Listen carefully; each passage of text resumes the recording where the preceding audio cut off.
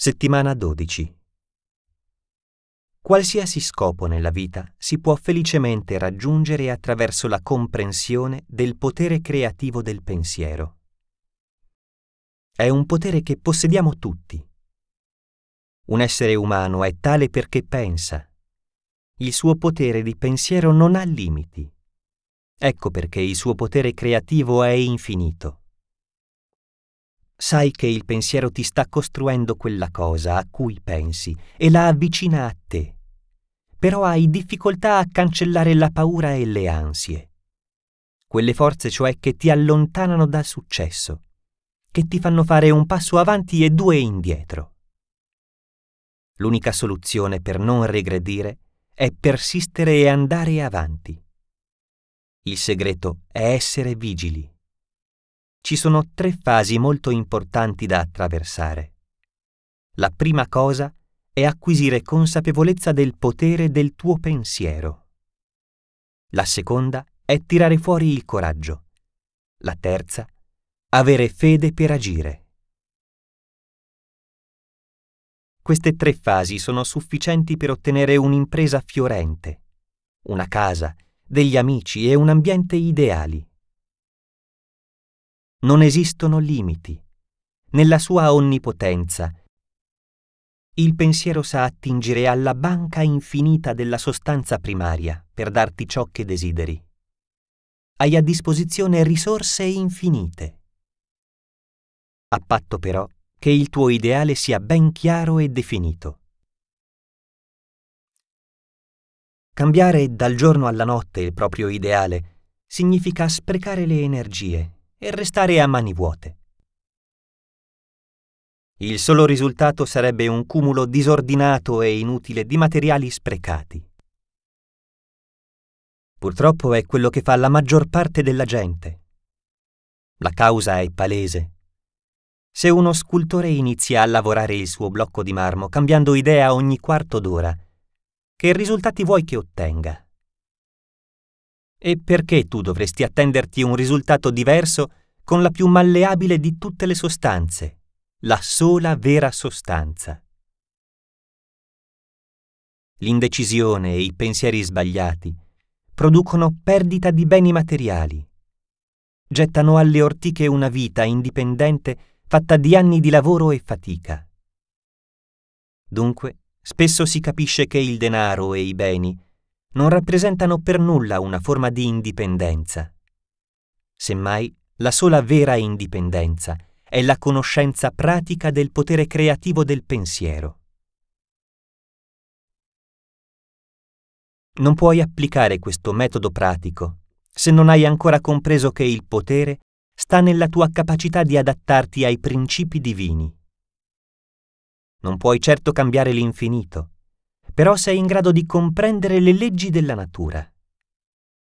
Possedere questa consapevolezza equivale a essere coscienti delle proprie capacità nell'adeguare il tuo pensiero alla mente universale. Saper cooperare con questa onnipotenza definirà il livello di riuscita nelle tue imprese. Il potere del pensiero comporta anche delle trappole in cui è bene non cadere. La preoccupazione, i timori e in generale tutti i pensieri negativi danno cattivi frutti. Chi è vittima di simili pensieri è destinato a non raccogliere altro. Esistono poi i cercatori di fenomeni, che corrono dietro alle più astruse correnti del mondo psichico non hanno ancora capito che la loro disfatta dipende dalle forme pensiero passive, negative e ottuse. La telepatia ha avuto molto seguito, ma è una pratica nociva perché presuppone che il ricevente permanga in uno stato mentale negativo. Quando si invia un pensiero, nell'interlocutore avviene sempre l'inversione del principio coinvolto. L'ipnosi è dannosa per molti versi, sia per chi la pratica, sia per chi vi si sottopone. Chi conosce a fondo le leggi della sfera mentale non può pretendere di dominare la volontà di un'altra persona. Così facendo la si spoglia inevitabilmente del suo potere. Queste pratiche possono anche affascinare, ma nasconde un fascino incredibilmente più profondo la vera comprensione del potere interiore, perché è una forza che aumenta con la pratica, è permanente e duratura. Si tratta di un potere che non si limita a correggere gli errori del passato, ma che previene i pericoli futuri. Una forza creativa autentica, con cui costruire nuovi scenari della nostra vita. La legge dice che il pensiero si mette in relazione con il suo oggetto e genera nel mondo materiale il corrispondente dell'immagine impressa nella sfera mentale. È chiaro quindi che ogni pensiero deve contenere la verità, altrimenti la legge della crescita non può manifestare il bene. Perché solo il bene può garantire il potere durevole. La legge di attrazione è il principio che dona al pensiero quella forza capace di collegarsi al suo oggetto. In fondo, la legge di attrazione è solo uno dei tanti nomi dell'amore principio eterno e indispensabile per ogni religione, filosofia e scienza. Non si scappa alla legge dell'amore. Amore è percepire ciò che dona vitalità al pensiero. Percepire è desiderare e il desiderio è amore. Quando il pensiero è ricco d'amore, niente lo può battere. Queste parole, se comprendi il potenziale del pensiero, ti appariranno ancora più chiare. La mente universale è sì intelligenza, ma non solo. È anche quella forza attrattiva che fa interagire gli elettroni fra loro, grazie alla legge di attrazione. Anche gli atomi si attraggono tramite la stessa legge, e così accade alle molecole. La legge dell'amore è insomma una forza creativa e si può trovare in ogni creatura dell'universo in tutto ciò che l'immaginazione è capace di concepire. Il funzionamento di questa legge spinge da sempre l'uomo a credere in un essere impersonale che risponde alle preghiere e ai desideri, che manipola gli eventi per soddisfare le sue richieste.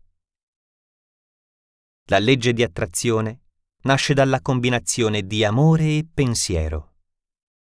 È irresistibile vedere come tutte le leggi naturali, quella gravitazionale o quella elettrica, funzionino come un meccanismo a orologeria.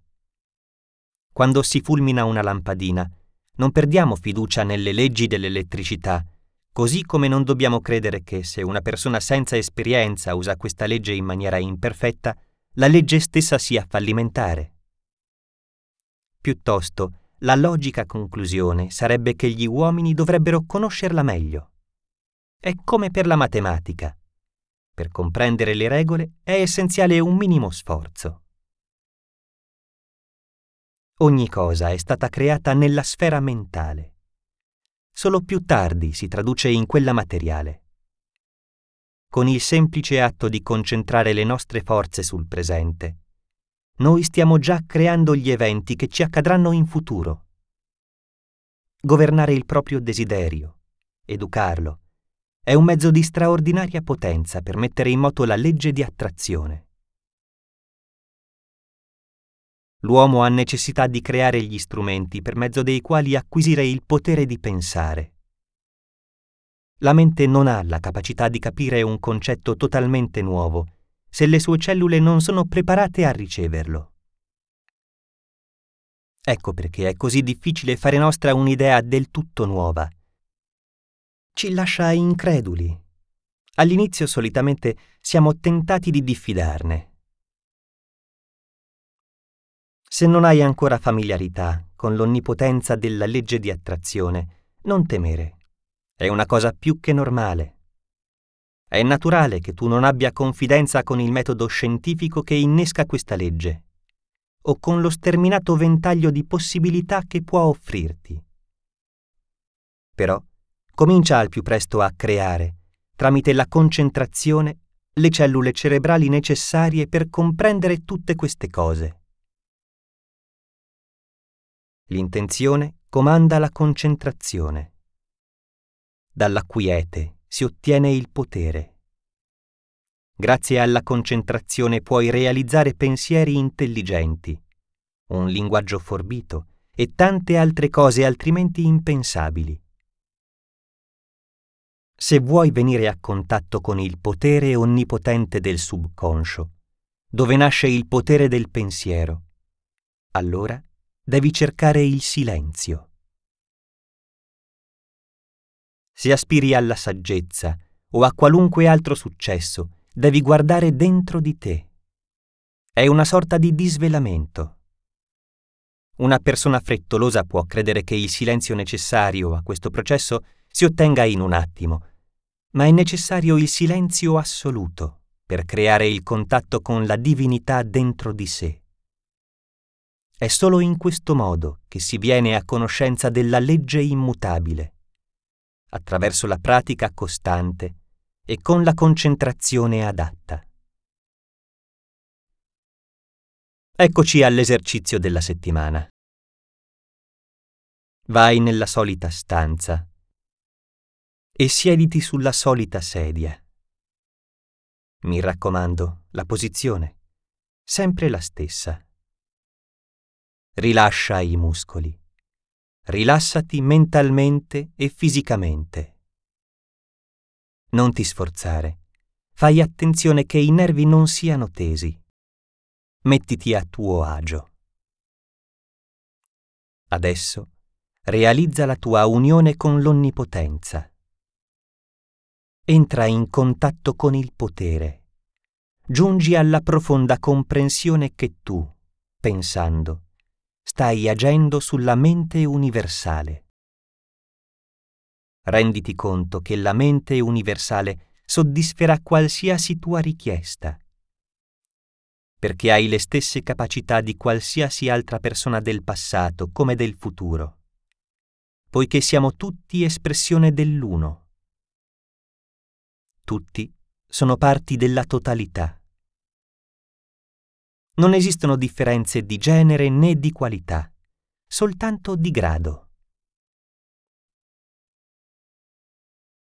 Il pensiero è in grado di concepire tutto ciò a cui si può dare un'espressione. Chi lo ha enunciato per primo non è che il suggeritore, ma poi appare anche il vero realizzatore. T. Wilson